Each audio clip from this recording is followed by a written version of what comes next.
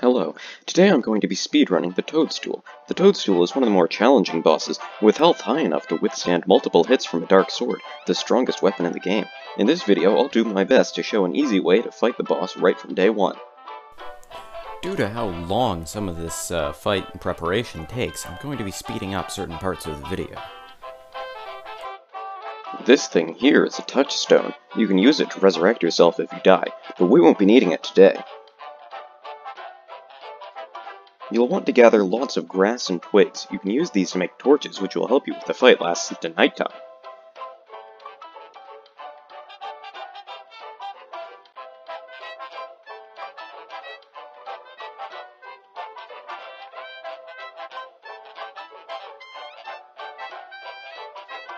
The next thing we need to find is a cave. First, let's hope we can get lucky where we spawn in.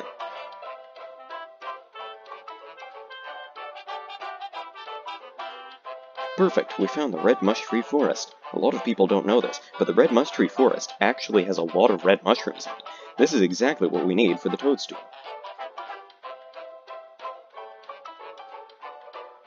Another useful thing in the caves, light bulbs grow everywhere. They're very common and make a great early game food source.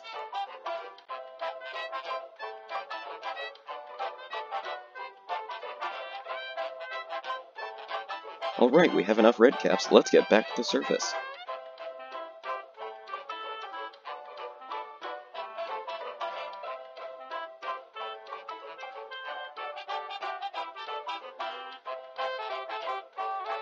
And now we're ready for the fight.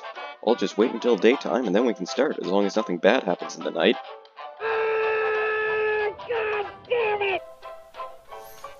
Okay, well, the night is ended. Now we just need to wait for the uh, toadstool to spawn. Oh, there he is. Now, I just, okay, I just need to get my weapon out, and we should be ready to start the fight. Now, you're going to want to try and kite it and dodge the attack. Okay, I got, I got hit a few times there. I'll be fine. Okay, good. We beat phase one. Now we just need to get... Okay, so we lost phase two. Uh, it, I guess we didn't make it. Uh, be sure to check back next week for a Fuel Weaver speedrun.